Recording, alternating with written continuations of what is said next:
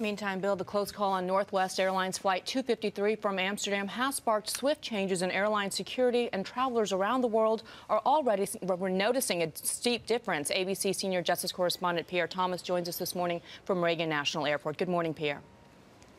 Bianna, air travelers overseas coming to the U.S. will now face new restrictions. And if you look at the nightmare that almost took place, you'll understand why.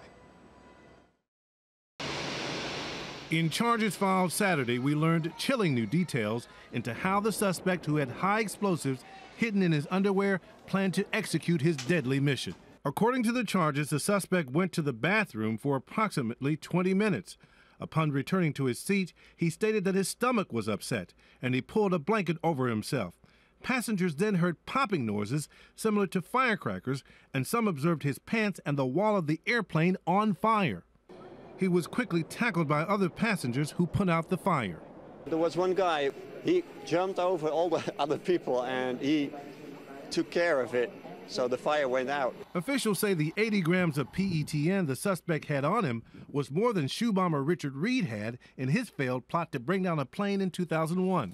Due to the security failure, effective immediately, air travelers from overseas will face new restrictions. International travelers will be subject to increased pat-downs and gate screening. In some cases, in the final hour of their flights, passengers will not be allowed out of their seats. Usually I just try to block everything out, but today I think I'll be looking around a little more. There may also be limitations on items that they store on their laps.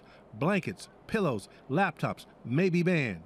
Passengers on domestic flights may also see similar restrictions. If nothing else, it's a wake-up call, and we're going to have to address this. Expect congressional hearings.